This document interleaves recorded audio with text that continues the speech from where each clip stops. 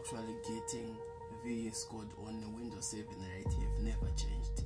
It's just things which have moved around the platform or their website which I'm kind of guiding you within this video. So if this video is gonna be helpful enough, you can actually watch, leave a like. yeah, thank you. Let's begin. So you're going to find where it says get previous versions, right? Click on that one and we'll be directed to another page.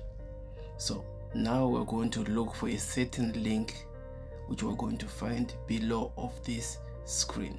So let's start scrolling and i'm gonna show you where you can get the what? The right version for windows 7 right? Because it has been updated and we're not windows not getting any any any what? Any new update but there is this was says version 1.2 or 1.70 yeah the july 2020 version. So we're going to actually wait for it to download right?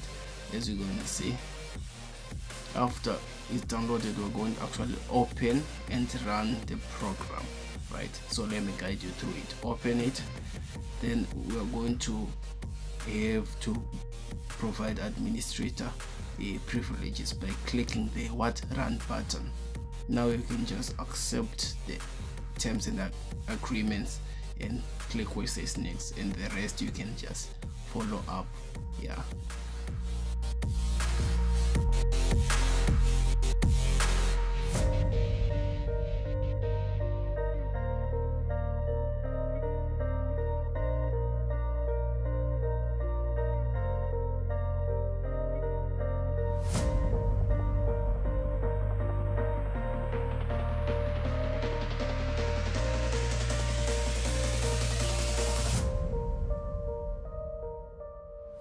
so if you have managed to actually reach to this part of the video right you have managed to actually install visual studio code on your computer.